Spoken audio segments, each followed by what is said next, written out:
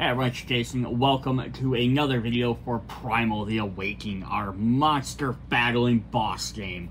Um, so in video part one, I went over the rule books and went over look at all the different components, like, the, did a brief look at the components. So in part two here, I want to go through um, the different components, like a little bit of tokens, um, the terrain, and then we're going to go through some of the basic, like, armor and item cards and stuff like that. And then that way, when we head into the um, then we can head into some more videos with the monsters and hunt hunters after that.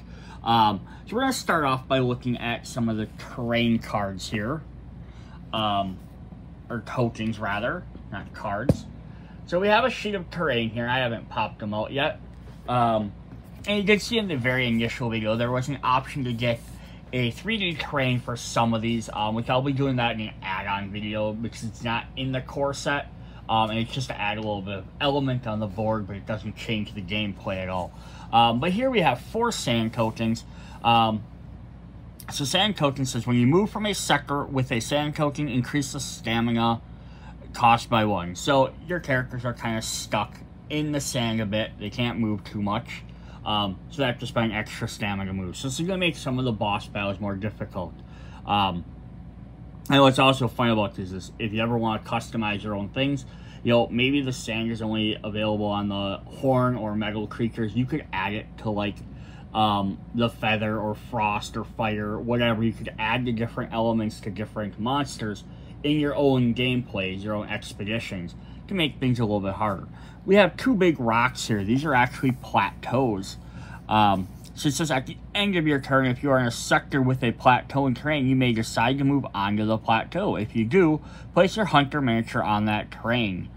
Um, when you're on the plateau, whenever a behavior card is revealed, you may immediately place your hunter miniature on that behavior card. If you do perform the following steps, cancel the effects of that behavior, uh, skip the reaction step if it has a resolution card, perform a ride, riding check. Uh, if you start your turn on a plateau, you must immediately step off of it. Place your miniature anywhere else in the same sector.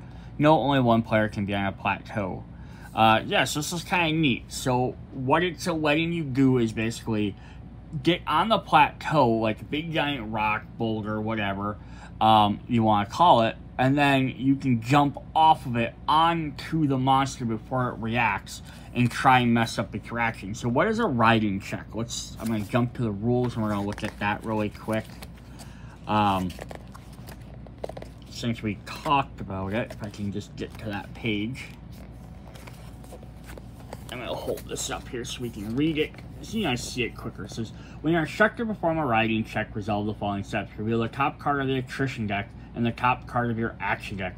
Compare the attrition value to the revealed attrition card the number of stamina icons on the revealed card. If the number of stamina icons is equal to or higher than your attrition value, you deal your weapon damage to the monster and choose a sector on the board to place your miniature in. If it is lower, you suffer damage uh, from the monster and place your miniature on the front sector. Discard both cards. So, it lets you cancel a reaction, which, depending on what your action is, it might be worth potentially taking a risk. But it also gives you a possible chance to do damage. Um, now, if you know the, if you have, there are some cards that let you look at the attrition deck, um, so maybe you know it's, hey, I know it's weak, or you maybe you know card, card top, you know, it's a four. Crap, we're never gonna have four stamina. I think the highest card you get is maybe three maximum stamina, stamina on a card. So you know you can't beat it. So you might not want to do that. Um, since you have tail during the consequence of riding, place your miniature in the front section. Um, the other cool thing about it is um, if you do manage to hit it and damage it, you can also then jump to a different area. So this could maybe let you climb up behind him, for example, uh, where he's not looking, jump up on top of him, do damage, and then land in like his flank, which might be his weak spot during that point, um, and then attack him. So it's actually kind of a neat little attack. But again, it's up to you if you want to utilize it. Uh, the next three sets we have are rocks, just plain rocks. Um, when you suffer attrition damage, you're in a sector with a rock terrain, you may remove that terrain token to prevent the damage. So you're hiding behind the rock, it takes the hit instead of you. Um, I'm going to skip the plants for a moment. We're going to look at some more physical terrain here. We do have four waters. Um, and we should never have, generally have more than four of any icon because there should only be one in each of the four sectors. Um, when you're in a sector of the water terrain, your sequence is limited to three instead of five. So, kind of like sand hinders your movement ability, this is going to hinder you to be able to attack more. Because you can still attack, you can kind of swim through and move quickly through it, but you're going to have to, um, you're to have to, like, it's hard to, like, obviously, you ever, you ever been, like, waist deep in water, you know, like, there's a lot less you can do.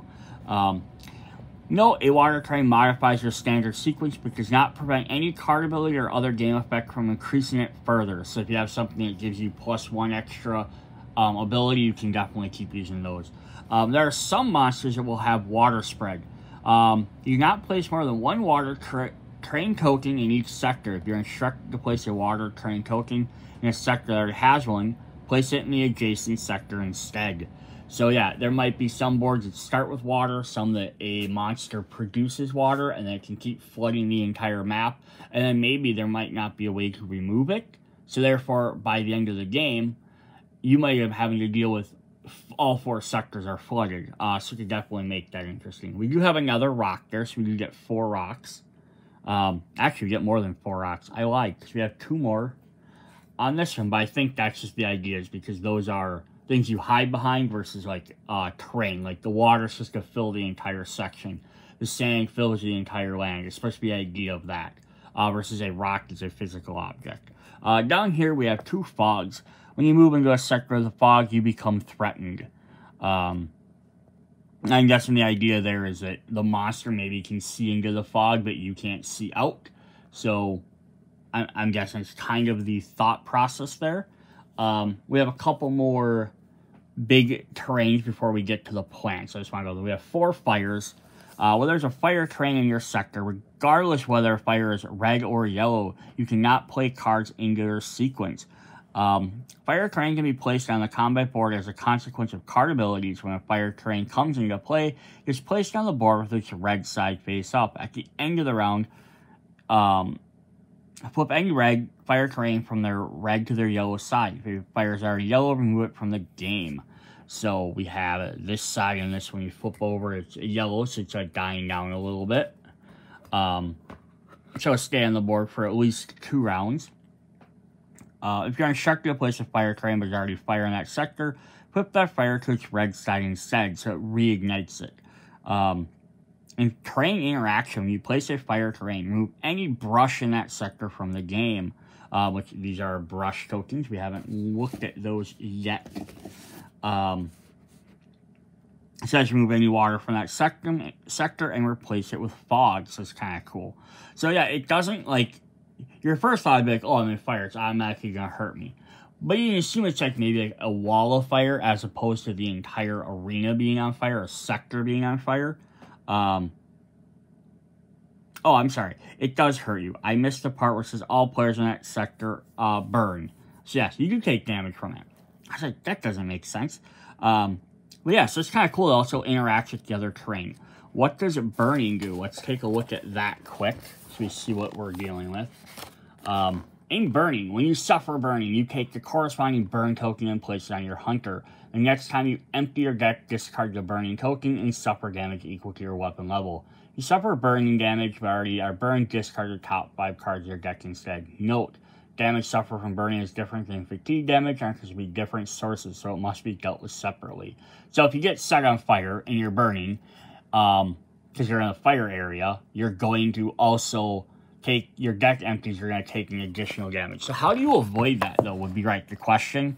Um, I don't know if there really is a way. It says, because you're instructed to place a fire terrain token there, and then all players um, in that sector suffer burning damage.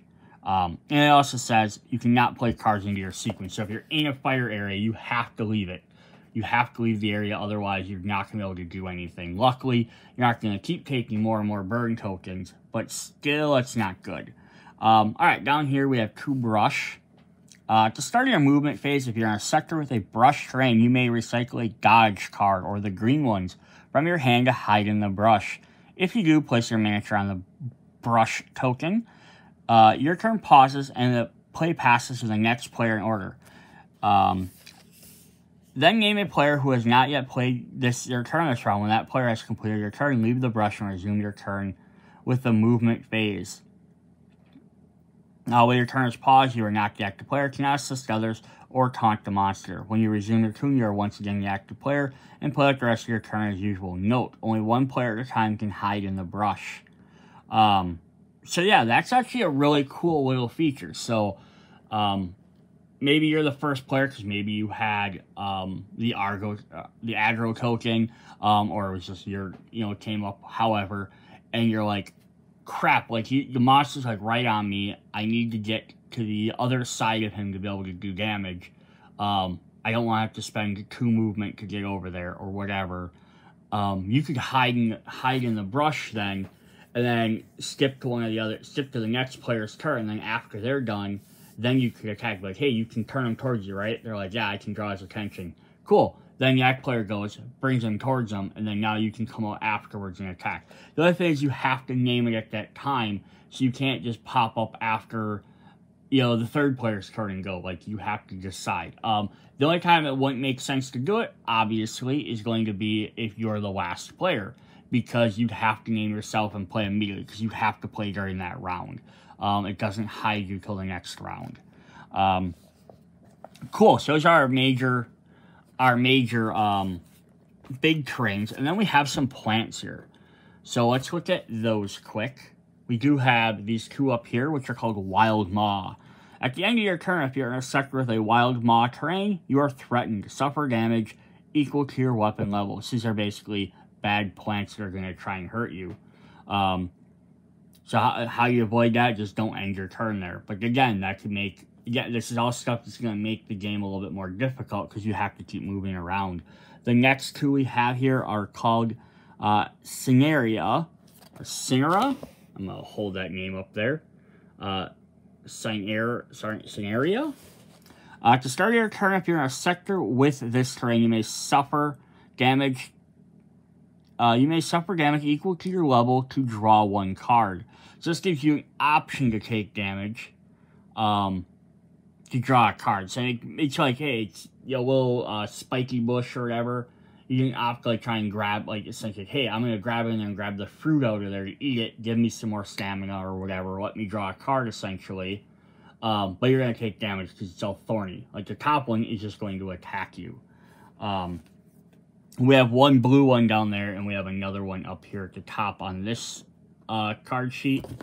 Oh, and my thing fell over because this don't bounce very well. So we have the blue ones up there, which are called uh, Bathanus.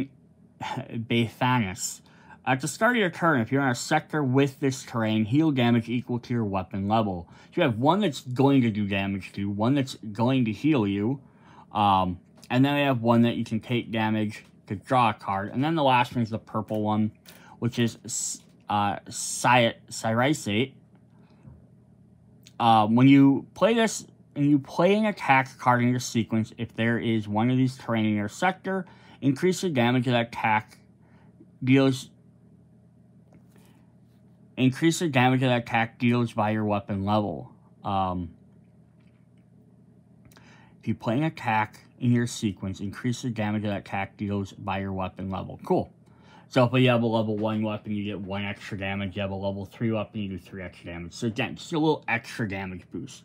Um, and then when you play into an expedition, um, they're going to tell you. So if I'm fighting Hurom, it's going to tell me to use 3 rocks, uh, 1 Baneth, and 1 Brush. It's going to tell me where to put them. And then it has an alternate one with just 3 rocks. Um, or if I'm fighting, um, let me grab a different guy different element.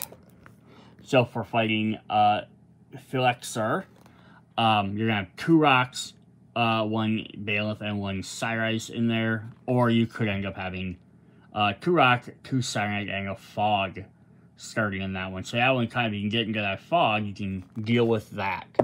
Um, I don't think any of them start with some of them, like the, the coral guys start with water in their terrain.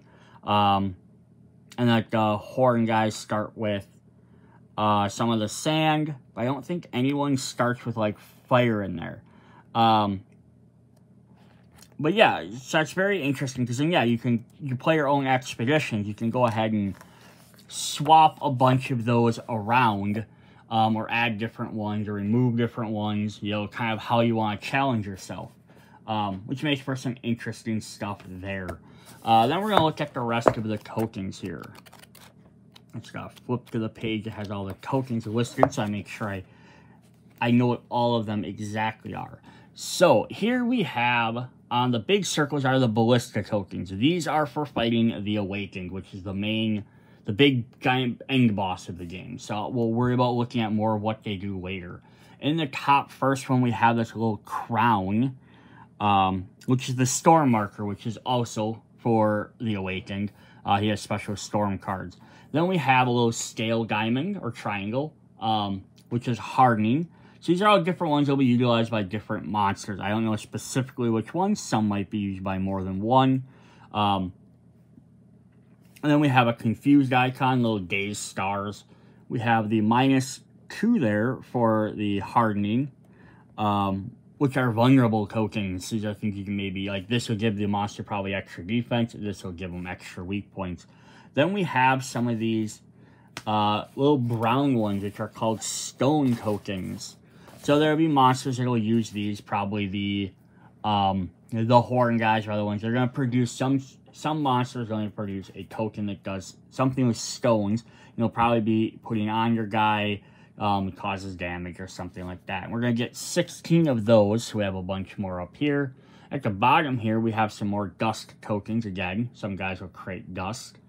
Um, then we have our four targeted or threatened icons, we have our aggro coin, we have our 4KO. If we flip this over, you see the KO does change to white or red. All the rest are all the same front to back. We have a bunch of damage tokens to show hits. Um, and then down here, some plus damage. So this would be for your weapons. You might have something that can give you up to plus 5 damage. On the back side of those, we'll have they go up to plus 10s. We have some 5 damage, so you start putting a bunch of hits or wounds on the monsters. You can keep track of those. Um, we have some more of those tokens. We have some 10 damage. We have some 1s and more some 5s. For our counters, we have the little triangle there that looks like a flag. This is our first player token. Uh, just oddly surprising that it's just a little token. So many games use like some big, giant, gaudy thing or like a little extra 3D token to represent it. And he's kind of surprised they didn't put like a little 3D flag in here for that. Um, so that's interesting. And then on the back side, we have the 5s turn to 10s, the 1s turn to 3s, the uh, 10s turn to 50s. There is a 1 down here, though, we didn't see. It's a 100 and a 200. And that's for the probably for the main boss. Um, and I'll keep track of all that. And then on this sheet, we have a bunch of ones, which are just counters. There'll be various things you'll have you keep track of counters on things. Maybe did this, did that, so we have some ones. We have our burning tokens we talked about. Our attrition um, defense token. Sorry, these are defense. It'll show you same icon as your defense. And then to go right with that, we have disrupt, which will show it cancels defense. Uh, we have struggle tokens. Um, sorry, we have struggle tokens are on the next page. You have acceleration tokens, which will boost a monster's struggle amount. Um, and then we have some dazed icons. So it's mentioned dazed, so basically this is going to cancel a blue card, cancels a defense card. Um, kind of very simplistic, um, simplistic graphics, right? So you can look at it and be like, oh, this gives me extra defense. This cancels this card, that cancels that. Uh, we have threes on the back of ones for our counters. Um, up here, we did have a little heart up there, um, which on the same side, which is a charge marker. So there might be various monsters that use that to keep track of that. And then our last token sheet has a lot more stuff on here. So we have a bunch of struggle tokens. Now, you know there's only six of them, because once you hit five, um, or I think once it was five, then they, they activate their abilities. So you don't need to ever have like 10 on there. Once it hits so many, it'll disappear. The hourglass is our round marker. Keeps track of what round we're in.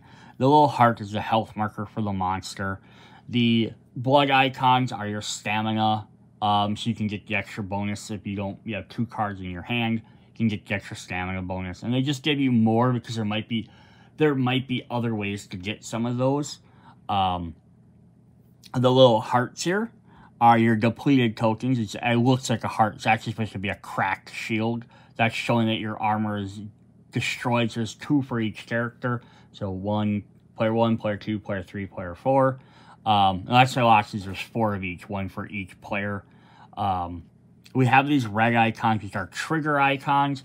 This again is when you're doing your behavior cards, and you have multiple that are going to react at the same time. You can put them in order, but there's never going to be more than four at a time. There's only four slots. Um, we have the minus one for the, the picture of a card on it, which are strain tokens. So at some point you might get strain, which is, I'm going to guess means you draw one less card uh, each turn. Uh, see if I can just list that in the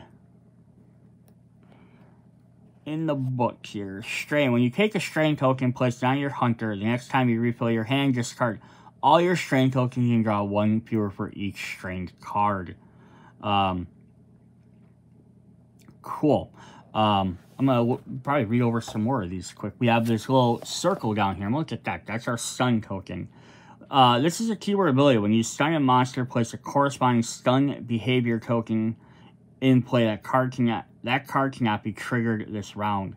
Then choose a player reveals up to two attack cards from their hand and deals their weapon damage to the monster for each card revealed. The stun token on the behavior keeps track of the stun effect Discard it once it has resolved at the end of any round. You cannot place more than one stun token on a behavior card. You normally stun the monster, but the monster is already stunned, do not place the stun. You can, however, move the stun to a different behavior card um, and still choose your attack. So that's pretty cool, right? To be able to stun guys. Um, I try to see if there's any others we didn't look at. We had the vulnerable token. Um, well, let me go through the rest. We have two more. We have the um, bonus monster damage, they can get plus one. Sometimes they increase theirs. And then the X are the exhausted tokens. Um, what do the exhaust tokens do? When you're instructed to exhaust a card, place the token on it. It's considered to be blank for the rest of the scenario. So it might end up going on your um, like mastery card or something. And then if we flip this back over, the only thing that changes here is we have two staminas. Like those struggles can go up to three. So you can get more than five tokens. It's just they're gonna add up that way. Um, you're never gonna have so hopefully never have like 16 on there, I guess. Um, monster can get up to plus two damage. In the bottom here, we did have some blind tokens as well. Um, so you have the blind status effect, and I did miss that on this side. Blind status effect is going to, I'm going to jump to the book here. Uh, when you inflict blind, choose a peril card. That peril is considered blank. So, confuse will stop a behavior card. Blind will stop their, um, will stop them from using their peril abilities. Um, so that's kind of helpful to, until obviously they, they flip it over. Um, let's re-go back to some of these I didn't talk about. The disrupt tokens um, and the defense tokens are very simple. Uh, the defense, when you gain this token, place in your hunter, counts as a defensive card in your secret for the attrition check. Um, does not count towards a color reaction, though. And then disrupt token, when you place this on your hunter. During attrition phase, if you have a disrupt token, you must place it on the defensive card in your sequence, and it does not count towards that. So again, chances one of your defense cards. Uh, and then daze, when you become gaze, next time you play a blue card in your sequence, discard the gaze token, because consider that card to be blank. No, you still, uh, the blue card still removes struggle as usual, but the text is ignored. Um, yes, nothing too too crazy there. Um, trying to see which other ones we didn't talk about. You know, we didn't talk about. Let's jump back to this one here. We have the confused token. Uh, when you confuse a monster, place the token on the monster board until the end of turn and, and turn the monster to a sector of your choice. Next time the monster would activate a boost effect, discard your confused token instead and cancel that boost. Sorry that's wrong. If the confused token is still in play, it's discarded. So we have one that affects their peril, one that affects their behavior, and one that affects them in general. Um, we have the hardening icon there, which is a little uh, effect there. Sometimes monsters become hardened during the game. Each time you convert damage into a wound, remove all damage from the monster currently sustains.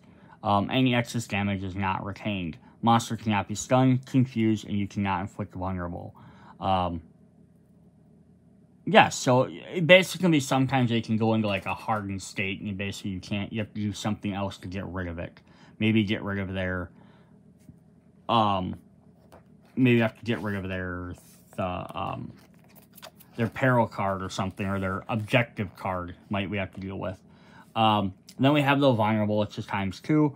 When you inflict vulnerable, place a vulnerable token on a monster board while it's vulnerable. When you or another player deals damage to a monster, you may double the damage. At the end of the round, if it is in play, remove it from the monster board. So some of these you have to like, you have to immediately try and do, otherwise it's not going to make any difference.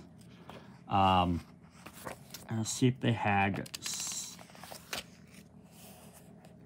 I don't see stone listed in here. Because these are, like, the stone and the dust tokens aren't listed in the general keyword because they're monster-specific abilities. Um, so the stone is also a card. the Arutem tokens. Um, Hurom uses them. Um, so there's specific abilities they'll have him do. I'm not going to go over too many of them. Uh, dust tokens are used by Toramat and Dagger. Uh, charge tokens used by Ger uh, Jekoros hardening track is for two different guys. Yeah, it's just some different ones. They're going to add extra abilities when they do it, and I'm not going to go over all of them right now. Um, uh, but we are now, that we've went through all the tokens, we're going to go through the basic, um, all the different armor and other cards there. So on the back of the armored cards, I'm going to flip this down a bit so we can move my camera forward so you can get a good view. Have a picture and armor on the back. Every hunter is going to start with a basic armor. Uh, so we will have four copies of pretty much every type of item card in the game. Um, so I'm not going to keep mentioning that over and over because if there is less, I will talk about that. But it's going to show it gives you 5 health. Um, and that's all it does. You can upgrade to an armor for each element. Um, shit doesn't have any element, and it shows an armor. So if we jump up to the, um, the red scale armor for the fire, at level 1, um, it gives you an extra health point. You start at 6 health. It's a start. If your health is critical, draw one card. I'm going to guess critical means down to a certain, uh, obviously it means down to a certain amount, but does it say specifically? Um, Hunter's health is critical and is used to half its value rounded down or less. So that's not bad, right? You get down below health, you can actually gain extra card out of it um, at the start of your turn. Then if we hop up to level 2 armor, one thing I love about these, so the armor art actually changes. Uh, same thing with all the weapons. They actually like evolve as you level them up. That's not something they had to do, right? They could just had the same picture throughout every single card, but the fact is they change it makes it look really cool. So this gets you up to 12 health. Um, start, you may suffer 1 damage. Your health is critical. Or you choose to suffer damage from red scale armor, draw 1 card. So this will actually let you forcefully get that card draw. Um, so you kind of see, like, not just for the weaknesses of monsters, but you might choose a particular armor for its health value. You might choose it for its abilities. Um, and then we get to level 3, we got super spiky. Start, you may suffer 2 damage. Um, and when you're critical, you can draw 2 cards and then discard a card from your hand. It gets up to 19 health. Um, so pretty cool. Then we have Horn, which is the next element. We have Spine Armor, level 1. So it's still 5. Um, so same as your basic armor, but says you may hold up to 2 stamina tokens. At the end of your action phase, gain 2 stamina tokens instead of 1 if you have 2 or more cards in your hand. So again, you're really playing a stamina heavy deck. This could be very helpful. So, you, so let's we're gonna definitely see where each armor and we're gonna get the helmets and all the different stuff. We're gonna have their own unique advantages and disadvantages. I'm gonna scooch this over just a bit so I can kind of show off that one. Um, you hold up to three stamina tokens, you get nine health, uh, max of three tokens. Um, and your action phase gain stamina tokens equal to the number of cards in your hand. So this actually changes how you get your stamina, right? Before you just had to have two or more, now you can uh, get three just based on that. And then we have level three. You know, poke someone's eye out with that. Um, hope to three stamina and your action phase gain for three. When you suffer attrition damage, you may spend one stamina to reduce it by two. And since you can always have that sitting there at the end of your action phase, you can actually use that as additional armor. It only gets 14 versus the fire one had 19. So you get less overall health, but you're going to be able to do more actions. In blue here we have coral, which is like the water ones. So reef bound plate. When you inflict a wound, heal one damage. And that has seven, so that's the best starting so far. Um, but yeah, how you're gonna get a heal for being a little bit more of aggressive character. And then when we upgrade it, we're going to get some more coral forming all over that. Um, and it's always still the reef bound plates. Is when you inflict a wound heal 2. Start. Search your discard pile for a card of your choice and shuffle it back into your deck. Very nice. And then the third one. Um, when you inflict wound heal 3, search your deck for up to 2 cards and shuffle them back into your deck. And that is 16 health. We have purple. We have the crystal armor uh, 6 health. Start. When you have 3 or more cards of the same color in your hand, draw 1 card. So this will give you a bonus for playing um, more cards of the same type. And maybe it might help you your next round. End of your round, you have to discard down to 5. You draw back up to 5 cards. So you might be like, hey, I have I'm not going to perform a really good attack sequence this turn, but maybe next turn I can play more and you might keep more cards in your hand. Um, different strategies like that. We have level 2, which ups up to 11 health. If you have 3 or more cards of the same color, draw and reveal the color of that card. Search your discard pile for a card and shuffle it back into your deck. Interesting. And then there's the massive extra digital like, crystalline tigers on your arms. Um, if you have three or more of the same color, draw and reveal the color deck. Check your discard pile for that color and place it on top of your deck. So now just go on top of your deck so you get to draw it during your next turn. And 18 health. In yellow, we have Thunder. Thunder, Thundercat's Hoe. Uh, the Thunder Armor, when you empty your hand, deal 3 damage. So, so again, one, this will be one of the ones that let you be a little bit more aggressive. Um, you have one color. horn. Hornet's going to let you basically keep cards in your hand. You're going to get more stamina so you can try and play a couple more. This was going to like reward you for playing all your cards. Um, so we have six health to begin with on that. At level two, getting a big extra pauldron on there. We have, when you empty your hand, deal 5 damage and 11 health.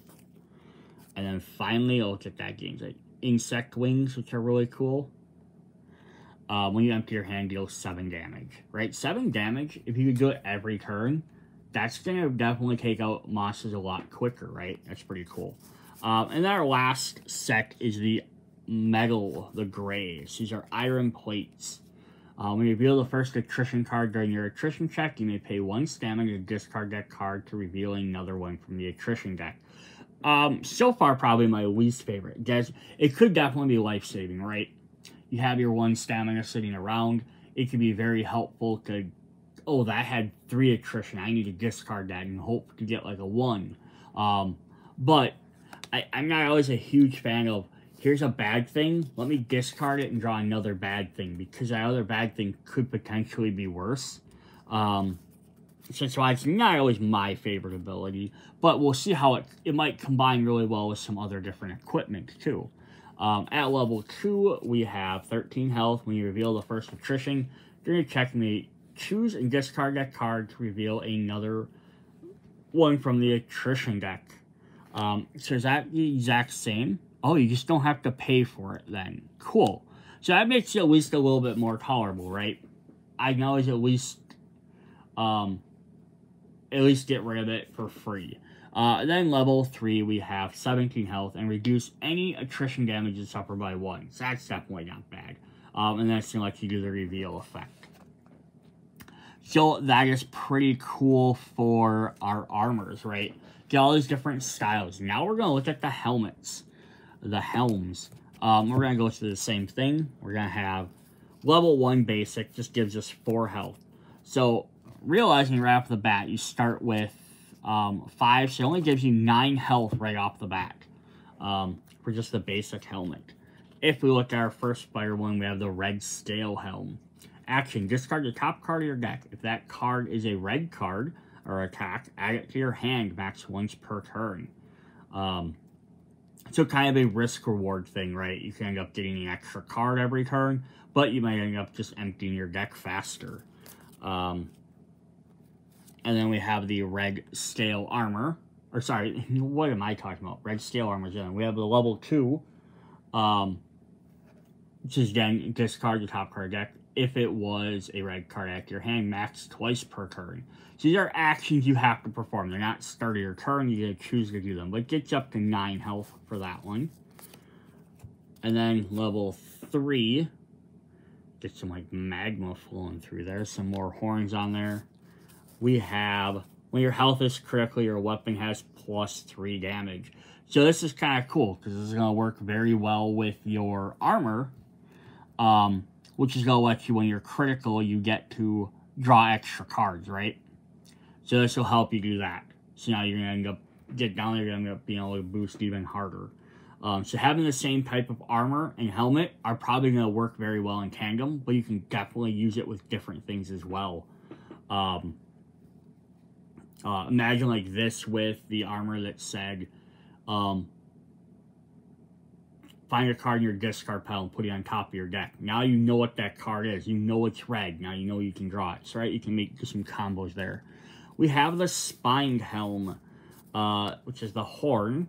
And we have level 1. Start, Recycle 1. So we haven't seen too many keyword abilities yet, but let's look at what Recycle 1 does. Um,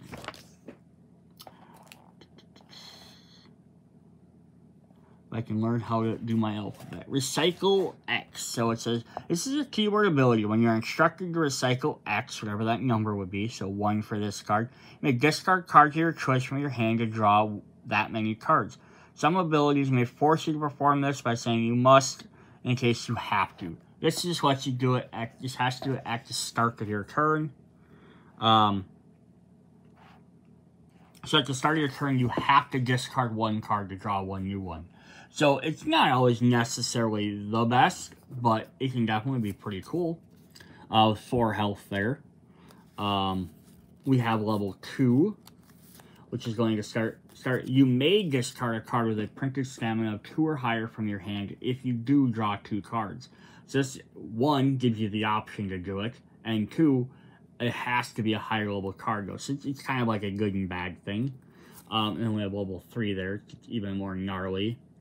Um, I would love to see like pictures of the hunters with this armor on. It'd be kind of neat to see like each different hunter like wearing some of these different armors to see how they would actually fit. Um, so level 3, you may, you may discard a stamina token or a card with a cost of 2 or higher from your hand if you do draw 2 cards. Cool. In our coral, we have the Reef-bound Helm. At the end of your action phase, you may reveal a blue card from your hand. If you do, search your discard pile for a defense and shuffle it into your deck. Um, so yeah, uh, I just want to look at the armor. Um, so yeah, the horned armor, I'm going to go back really quick here. The horned armor eventually lets you get, the level 3 seem to interact with the ar the armor better. Because the red one, once you're critical, is what the red like to do, the third helm work with that critical. This one lets you now discard stamina tokens. The horned armor lets you get stamina. Um, so then the coral eventually lets you do healing stuff. Um, and it's to search your discard pile for a card and put it back into your deck. This lets you put cards back into your deck. Um, so this is kind of working tandem with that. So when you reveal a blue from your hand, you may search your discard pile. So you see what level 3 does, because they seem to be the ones that interact the most with the armor. Uh, Reefbound Helmet 2. At the end of your action phase, you may reveal a blue card from your hand. If you do, you may either heal 2 or search your discard pile for a card of your choice and shuffle it into your deck. Cool. So this one lets you either heal or get a card of your choice, rather than forcing you to have to do a defense card. And then level 3, it's all that seashells on there. At the end of your action phase, you may reveal a blue card from your hand. If you do, you may either heal 3 or search your discard pile for a card of your choice and place it on top of your deck. So this will work really well at getting extra healing effects and getting your um, your stuff back into your deck so you can replay it. With crystal, we have the Crystal Helm. Start with the top two cards of your deck. Not bad, right? Not necessarily the best, but if you have in itself, it's not going to do you a whole lot of good. But if you have cards that are going to let you draw a card, um, if you play a certain sequence, or if you have something that's going to let you discard top card of your deck, this might be very helpful. Just because in that way you can, um, hey, I know I know I can. I play a red, then a yellow card, I can draw a card, but if that cop card is going to be a defense card and I don't need that defense card, maybe you want to play them in a different order. Um, or do the abilities in a different order. Um, just kind of interesting combination there. Um, and then the purple armor, just as a reminder, has, if you have cards of the same color, you get to draw cards. So again, this is going to be very helpful combining it with that armor if you do those together, because you're already going to be adding more cards you have, you're going to just see them, and then you know if you're going to want to keep them or not. You know, cool. Uh, let's see what level 2 does. Ooh, that is just blings out in crystals. Um, the top three cards of your deck and reorder them as you choose. Oh, that's fantastic. That's that's much better. Um, and then that's nuts, nuts, nuts helmet. Um, we have level 3. Name a color then with the top 3 cards of your deck. You may add one of those cards to your hand if it matches the color named. Return the other cards to the top of your deck in any order. So we're still getting to look at all three. Still get to rearrange them, but you can potentially get one of them. Um, cool. And then how does that work with that level 3 armor?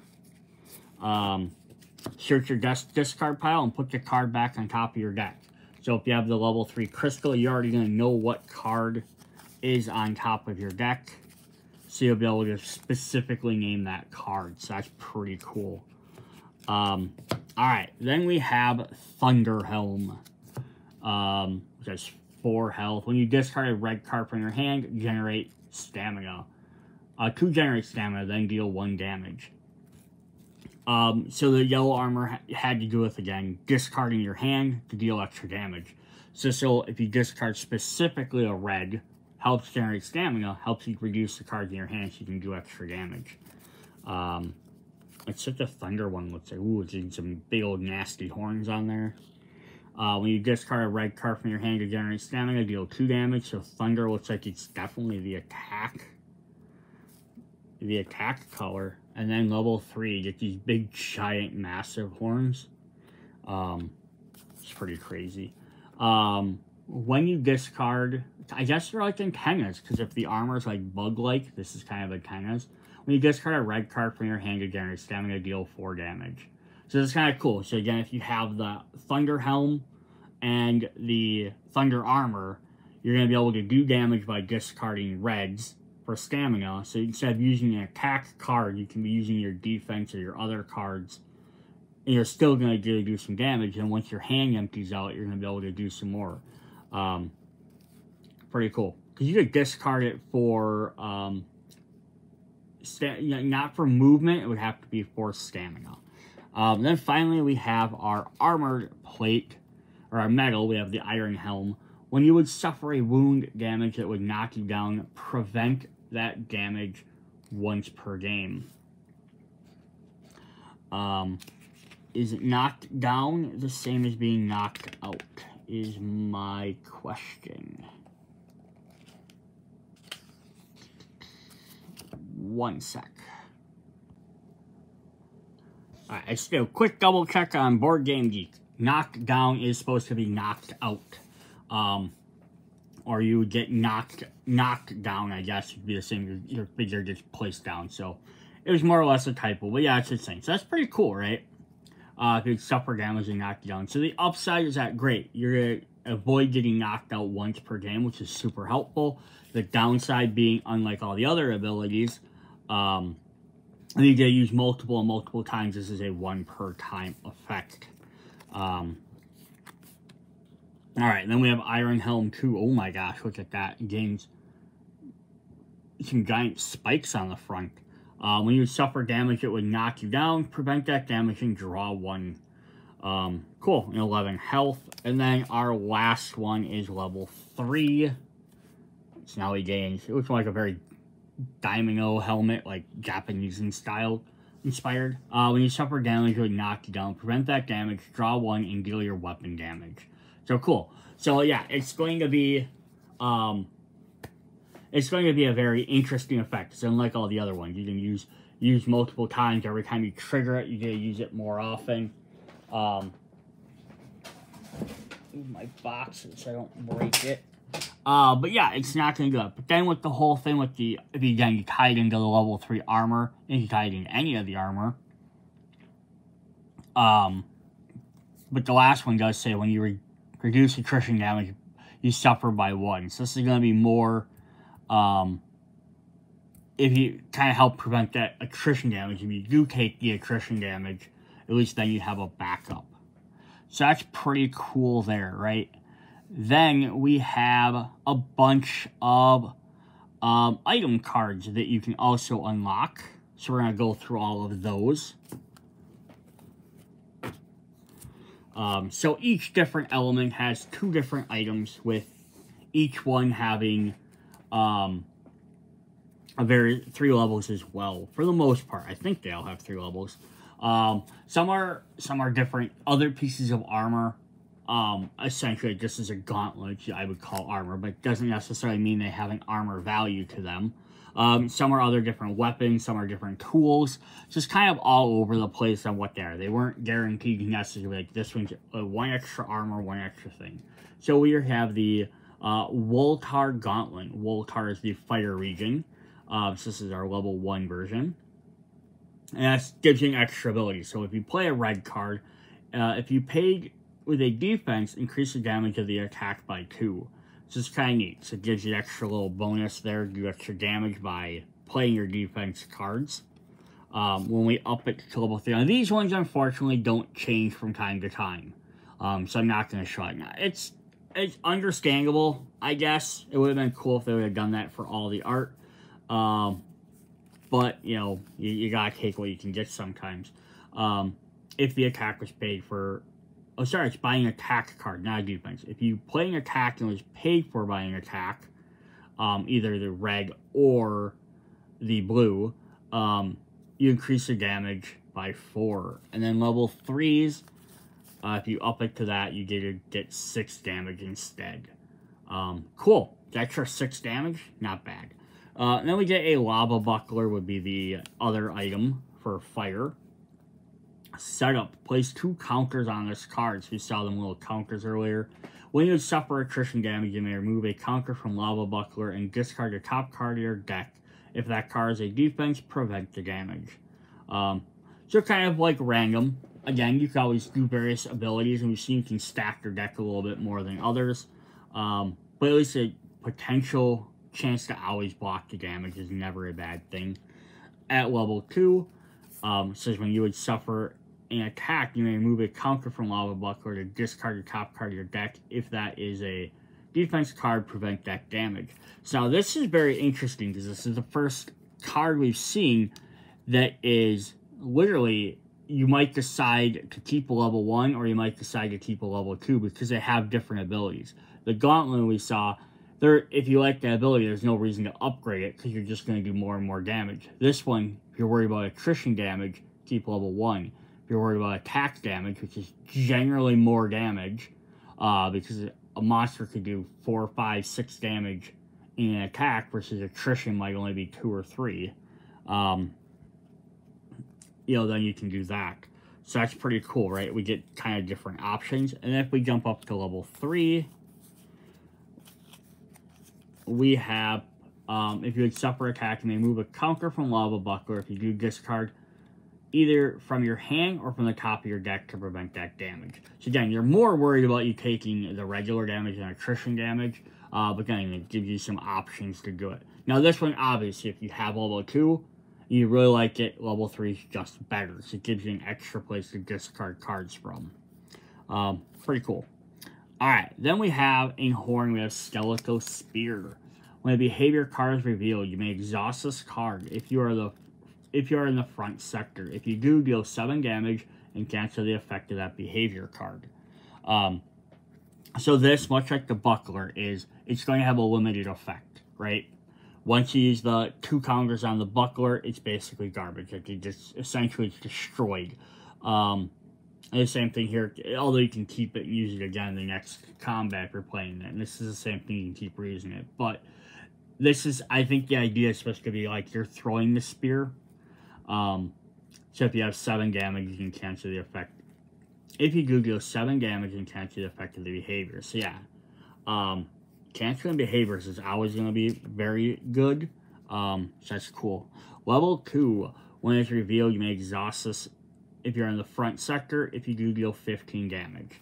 Um, so again, the little kicker on both of these as you have to be in the front sector. And then level 3 lets you deal up to 20 damage. It's a one-shot effect, but canceling behavior, doing uh, a bunch of damage is not bad. Although, again, being in the front sector also might put you at extra risk. The second horn card we get is Big Jaws, which is like a, a trap made from someone, some giant's mouth, giant monster's mouth. When the monster turns to your sector, you may exhaust this card to deal 2 damage for each uh, aggro in your discard pile. So if you time this right, you could do a lot of damage. If you have a lot of cards in your discard pile. Um, again, you have like five. That's 10 damage right there just for him looking at you. Um, that's pretty cool. You can even combine this with the other one if you have both horns. Um, although I say that, and then I think you can only have uh, one item at a time. Um, grab the hunter sheet here, just double check that. I think, yeah, you might only be able to have one, one item at a time. Yeah. So the items, I didn't look at the back of these. So the items have this little symbol, and didn't look at the helm one either. Helmet has that one. So if we look at one of our character sheets, we have helmet, armor, weapon, and then one for an extra item. So we won't be able to have both of these, although that would be pretty crazy, right? You could, you know, have them turn towards you to the front sector and do that, but yeah. Um, so keep that in mind. You'd have a combination of the armor and stuff, you have one of these items. Um, and then if we do level 3, um, sorry, we didn't look at level 2 yet. We skipped level 2. Level 2 is, uh, when it turns your sector, deal 4 damage, and then Level 3 is it does 6 damage. These again just kind of increases. For Coral, we have the Coral Trident. Your action cards are considered to have an additional stamina icon for the purpose of riding checks. So if you have some different plateaus or different riding things, you can again look ahead of time, look at the camp, oh, there's some riding things there. Or if one of your characters has the ability to do riding effects, because there might be other ways to do that, um, this this definitely maybe be a helpful extra thing for that. Um, then if we have the level 2, we have when you are dealt damage to the monster through the monster through a riding check, increase when you deal damage, not dealt damage, sorry, when you deal damage, uh, increase that damage by 4. Your action is going to have an additional stamina icon. That's pretty cool. And then the last one's going to be level, gives you up to 7 damage. Um, yes, that's fun, right? It, again, it's very, the items here kind of have very some unique or very specific way areas you have to be or things you have to do. But if you plan right, um, again, you might be like, hey, I know I'm going to this area that has two plateaus. I'm going to try and use them as much as I can. I'm going to buy the Coral Trident so I can get a good advantage out of it. Um, then we have the Gauntlet of the Shellblade, which has like a knife sticking out of it. Uh, which is what it looks like. When you avoid attrition damage, add your top card to your discard pile to your hand. If that card is in red, deal 3 damage. Alright, so stacking your deck will definitely help avoiding attrition damage. Kind of going into defense. Uh, level 2 uh, lets you do 5 damage instead. And then level 3 is actually pretty cool here. It lets you deal 7 damage, but it removes that red, so as long as it's a attack card. Um, so that's pretty cool and pretty powerful. I'm going to drop these guys down. We have the Crystal Spear for Crystal. Uh, start. If you have 3 blue in your hand, you may discard one of those cards to deal 6 damage. Um, I think Crystal also gains bonus for having the same number of cards. Uh, so that's pretty cool. At the start of your turn, if you have 3 in your hand, you may discard one of those cards to deal 9 damage. If this wound inf inflicts vulnerable um, inflicts a wound vulnerable. Cool. Um, that makes sense so they can't do stuff. And then level 3. If you have 3 blue in your hand, you may discard one of those cards, deal 12 damage, and possibly inflict vulnerable. Alright, the Shimmering Boots, uh, level 1. When you move, you may name a color, then discard the top card of your deck. If that card matches your color, ignore the movement cost. Um, so basically still sacrificing a card, but it can be from your deck rather than your hand. Um, at level 2, we have Action Move once per turn. Um, when you move, you may name a color, then discard the top card of your deck that matches the name color, ignore the movement cost. So what's the difference between these? Is this is just when you move, using your regular movement ability, you can go ahead and do this. This now lets you still do that, but it also gives you an action to be able to move an extra. So now you could potentially move twice every turn, um, which I think is very powerful. Um, then when we have level 3, we have you may name a color, to two cards from the top of your deck that at least one matches. So this could be very, um, very good for doing that. And if we combine that with like, um, the Thunder Armor, which lets you every time you empty your so this when you empty your hand, I guess. So it's emptying your deck. You probably don't want to empty your deck. So it's the only downside about that is you might empty your deck a lot quicker. Uh, so be careful. Uh, in Thunder, speaking of that, we have the Electric Whip. When a behavior card is revealed, you may discard a blue from your hand to increase its boost cost by one. Um, so that's going to be harder for it to trigger. So if it flips over, it has a boost of three, meaning it has three struggle-like tokens on it just to activate that. Now it has to have four. Um, at level two, um, you may, wizard, you may discard a blue card to increase the boost by one. If you do, deal three damage. Because you don't have to do it, right? But if you opt to, because you could be like, oh, like in the first part, you might, the first level one here, right? Um, yeah, like, oh, it has a boost or has a its uh, boost is 3, and he only has 2 uh, struggle. It's not going to activate anyhow. No point for you to waste it, right? This one, you might do that anyhow if you just want to deal that extra 3 damage. Um, and then we have level 3. You may discard a blue card from your hand to increase your boost by 1. If you do, deal 3 damage for each blue card in your discard pile. Oh, that's nuts. Um, so you get more, more than... Plus, again, yellow likes to Thunder likes to discard their hand, so you have more cards in your discard pile. The Electric Dagger, level 1. When you avoid attrition damage, you may choose and discard a behavior card in play. You do replenish this behavior, swap the top card of the behavior deck. I love that, right? Getting rid of them. Again, you don't know what's on the bottom of them. So, but like, it might help you like, oh, he's got three attack ones in there. I don't want to trigger three of them. He might play avoid attrition damage, you might get rid of one of them. Um, could be very helpful. Uh, at level 2, uh, when you avoid attrition damage, deal 4 damage, then you may choose and discard a behavior card and refill it. And then level 3, we have when you avoid attrition, deal 4 damage for each defense in your sequence, then you may choose one. So cool. So you could end up getting some extra, bunch of extra damage out of that. And then in our metal, we have the Iron Greaves. Uh, your health value is increased by 2. So that's kind of cool. Uh, when you're KO'd, exhaust this card. Um, interesting. So kind of like the um, the Helm, where it's only going to be at one-time effect to help prevent KOing. This will help prevent it, but you once you're KO'd once, it's not going to work anymore. Um, interesting. Uh, level 2 increases your health by 4.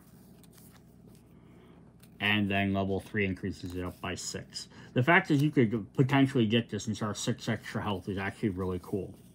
And then our last set is the Explosive. Start, you may exhaust this card to deal 5 damage. If it inflicts a wound, confuse the monster. Um, level 2 lets you do 10 damage. And inflicts a wound, stun, and confuse the monster. Oh boy. And then level 3 is going to finally be um, deal 15 damage, inflict a wound, and stun and confuse the monster. So pretty cool. So that is really neat with all of that stuff. Then the last thing we want to look at are potions. So that's the other type of card we can get. So potions of this. You can carry up to three potions each turn. Potions are one-time effect. So the first step you can do is consume a potion. Um, and then the thing is, they go away. So all your armor and stuff, if you use it, exhaust it, whatever, your items, you still have them on the next part of the campaign.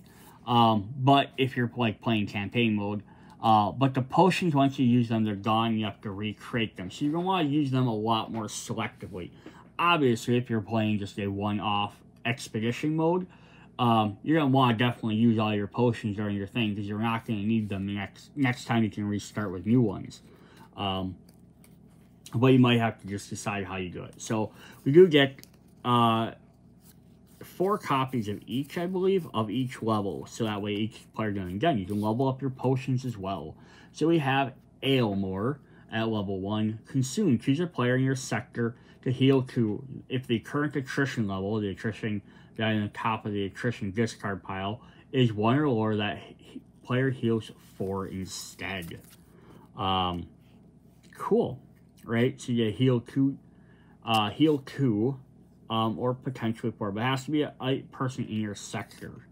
Um, and you can't heal them once they're tailed. Like, you can't take the damage and you can't then heal them. Um, so again, consume is at the beginning of your turn. Um, level 2, they heal 4 if the attrition level is 1 or lower. Uh, heal 8 instead. So again, this might be, I really need to heal this guy, I'm going to play 4. I'd really love to heal them 8 instead. That would be much better. You might have to wait until that attrition gets to a certain thing. Then you might be like, okay, now I have to move over there so we can do that. Um, and then level 3, heal 6 if it's at 1 or lower. Heal 12 instead. Cool. Our next one is Evoke.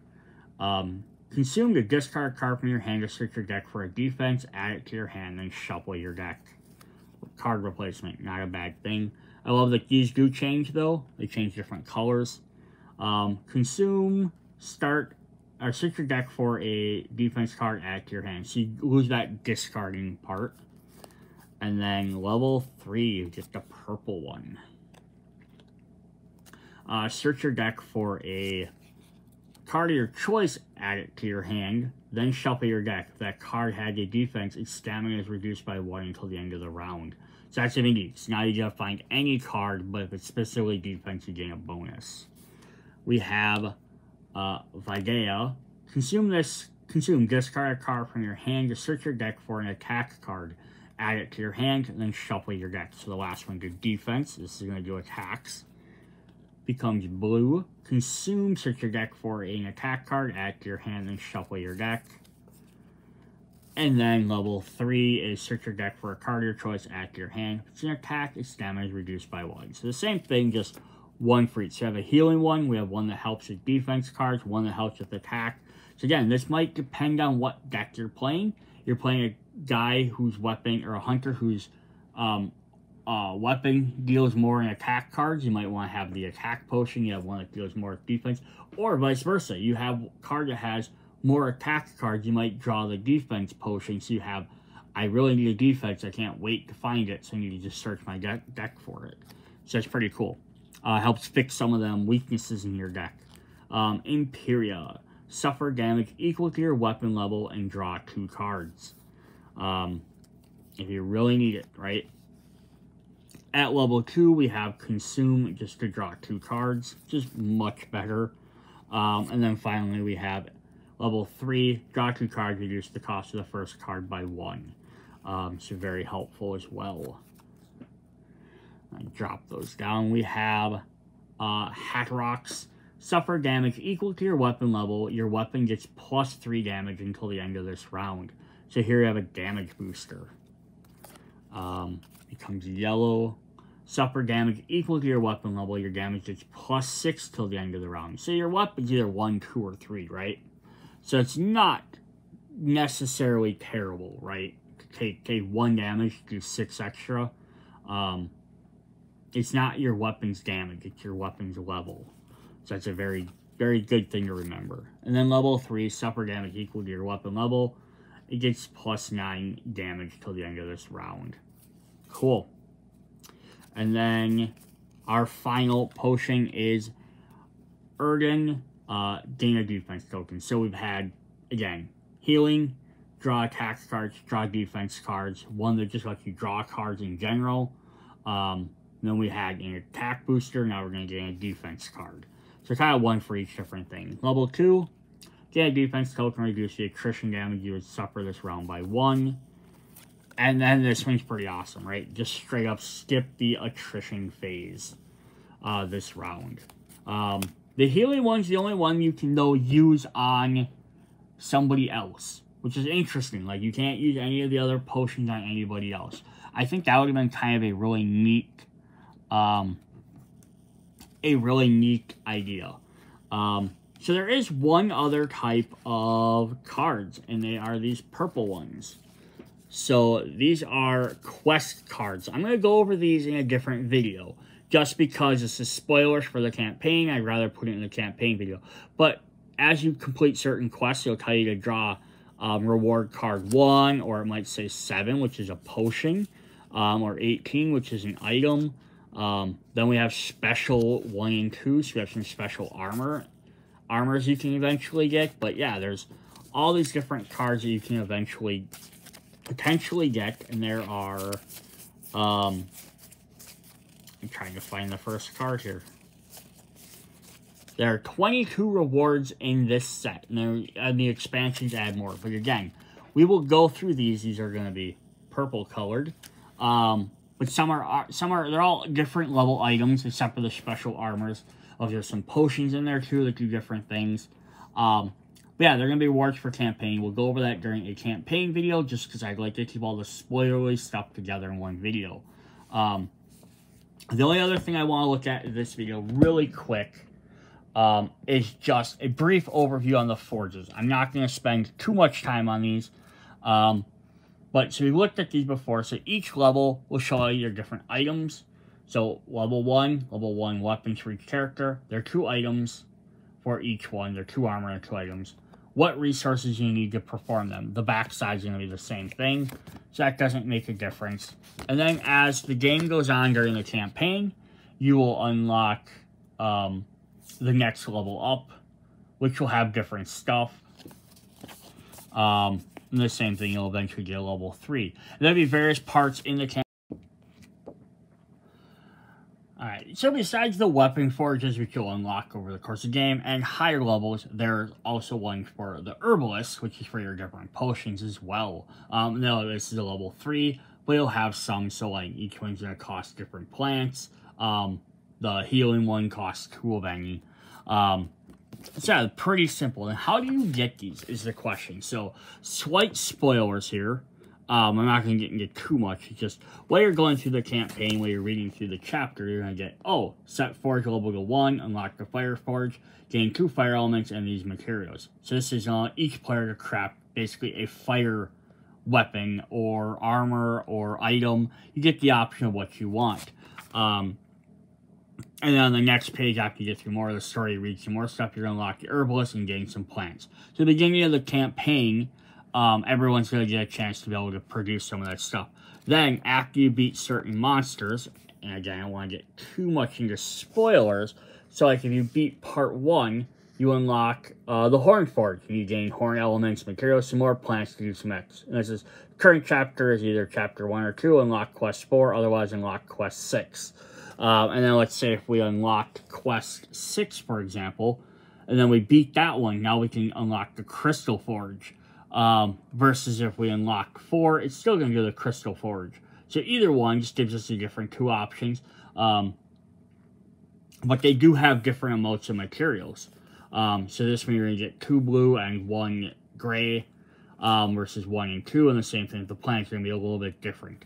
So each different quest is going to award different things. So playing through the different quests in different orders will let you do different stuff. So yeah, you start off with the ability to unlock the fire stuff, but then after that, it's probably going to be like probably going to go to the horn, and that's what's like you're going to go to the crystal. So they might kind of go in the same direction, but depending on what quest you decide to choose and take, you might end up lock certain elements before one. You might opt to be like, oh, I have access to um, the horn, you know, one of the horn monsters or a crystal monster. You might choose to take the crystal monster first because maybe the horn one has um, a weakness to crystal, or you need to get some extra elements you can upgrade your fire to then go fight the the coral one or whatever. Um, so different options get you different options to but it it's along with when you get into the hunters, you get to see all their deck building options as well.